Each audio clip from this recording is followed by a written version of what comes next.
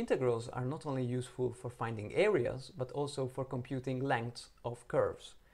More specifically, consider the length of the curve that is given by the graph of a function f over the interval ab. Well, this length of that arc is given by the definite integral from a to b of the square root of 1 plus the square of f prime of x dx. So here we are squaring the derivative of f and then we add 1 to that square, take the square root and then integrate from a to b.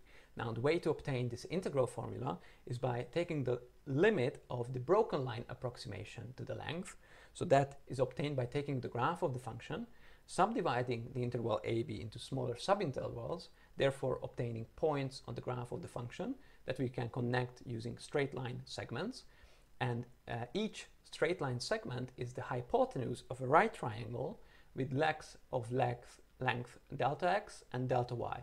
Delta x is just the length of each subinterval, and delta y is the change in the values of the function between the two points on the graph of the function.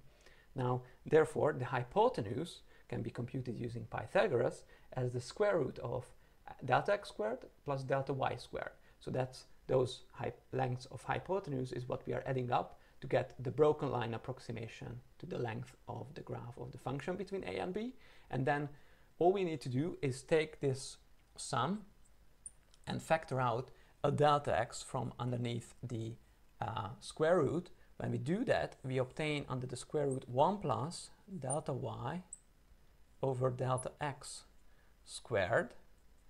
And then outside the square root, we have delta x. And when delta uh, x goes to 0, that is when n goes to infinity, we have this difference quotient um, tend to the derivative of the function. Therefore, we get this integral formula.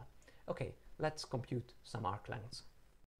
Which integral can be used to find the circumference of a circle of radius r? Pause the video, select your answer, and then evaluate the integral that you selected. Hope you paused it and I've selected this integral. So to find the circumference of a circle of radius r, we may use the function f of x equals the square root of r squared minus x squared. If we let x vary between uh, 0 and r, the graph of that function is, a, is the quarter circle of radius r centered at the origin that is in the first quadrant of the xy plane. Therefore, the arc length of that is a quarter of the uh, total circumference of the circle. Therefore, we get the length, the circumference of the circle if we multiply the arc length of that um, curve by 4. So that arc length is given by the definite integral from 0 to r of, well, the square root of 1 plus the derivative of f squared dx. So let's compute what this uh, derivative is. The derivative of f is can be found to be minus x over the square root of r squared minus x squared. Therefore, its square, the square of the derivative is simply the square of this function is x squared over r squared minus x squared. And therefore, this integral can be written as 4 times the integral from 0 to r of the square root of 1 plus that square, so that's x squared over um, r squared minus x squared dx.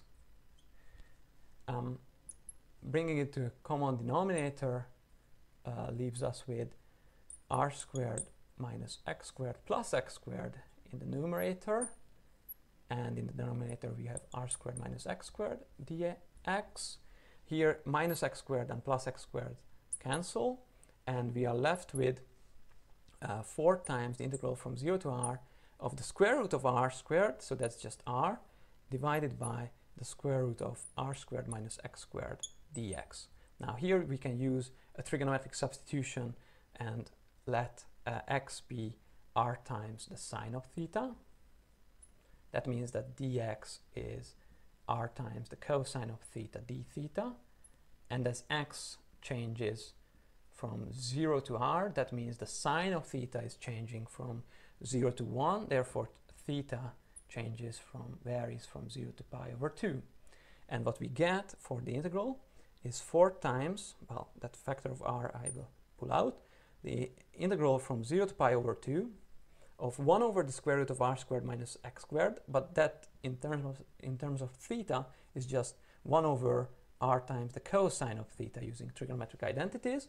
Del dx is r times the cosine of theta d theta. So r times the cosine of theta nicely cancels and we are left with the integral of 1 from 0 to pi over 2, but that is just pi over 2. Well, it is multiplied by 4r, therefore we get in the end 2 pi r as expected. Let's look at the next question. Find the length of the arc of the logarithmic curve that is y equals the natural logarithm of x as x varies from root 3 to root 8. So pause the video, compute the length of this curve and input your answer in the box correct to two decimal places. Okay, I hope you paused the video and found this length to be 1.2 approximately. So what we need is consider the function f of x equals the natural logarithm of x. Uh, its derivative therefore is 1 over x and it's the square of the derivative that we need in the in the arc length formula. So let's square 1 over x to get 1 over x squared. Now, uh, when we set up the arc length integral, we need to consider the definite integral from root 3 to root 8 of the square root of 1 plus f prime of x squared. So that's 1 plus 1 over x squared dx. Now that uh, integrand we can write as the common denominator of um, x squared as the square root of x squared plus 1 all divided by x squared um, but taking the square root of x squared gives us x in the denominator and then we may use the substitution uh, u equals the square root of x squared plus 1 therefore uh, u squared minus 1 under the square root gives us x um, and that means that um, u over the square root of u squared minus 1 du is what dx is. And furthermore, as x varies um, between root 3 and root 8, the corresponding u values change between well, root 3 squared, that's 3, plus 1, that's 4, under the square root, that's 2. So between 2 and uh, x being root 8 means root 8 squared, that's 8, plus 1, that's 9, under the square root, that's 3. So u changes between u and 3. So what we get for this arc length integral in terms of u is uh, the integral from 2 to 3 of, well, what we have in the numerator is what we called u, so that's u, divided by x, that we found to be the square root of u squared minus 1, uh, dx, which we found to be u divided by the square root of u squared minus 1 du. Now, uh, multiplying these uh, expressions, we get the integral from 2 to 3 of u squared over u squared minus 1 du.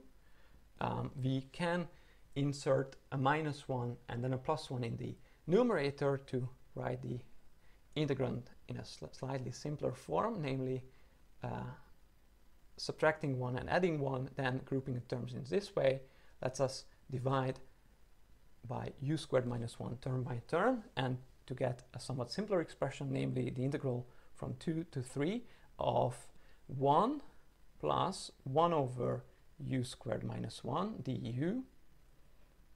And so that's uh, the integral of 1.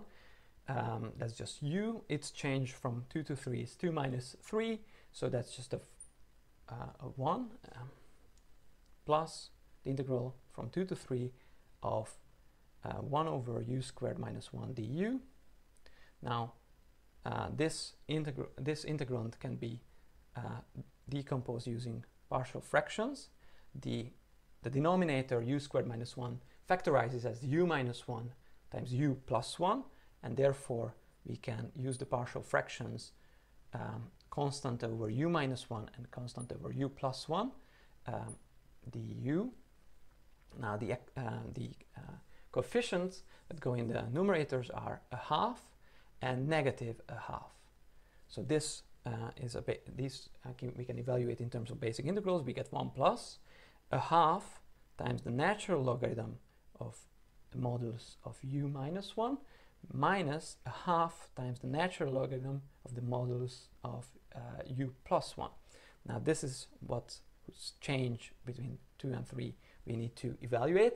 Before we do that, we can actually express this um, difference of logarithms in, using the laws of logarithms as a half times uh, the natural log of u minus 1 over u plus 1 and then its change as u goes from 2 to 3 will be found to be 1 plus a half times, well, u is equal to 3, then we get uh, 3 minus 1 over 3 plus 1, that's 2 over 4, that's a half, so ln of half, uh, minus, it's the natural logarithm of 2 minus 1 over 2 plus 1, that's 1 third.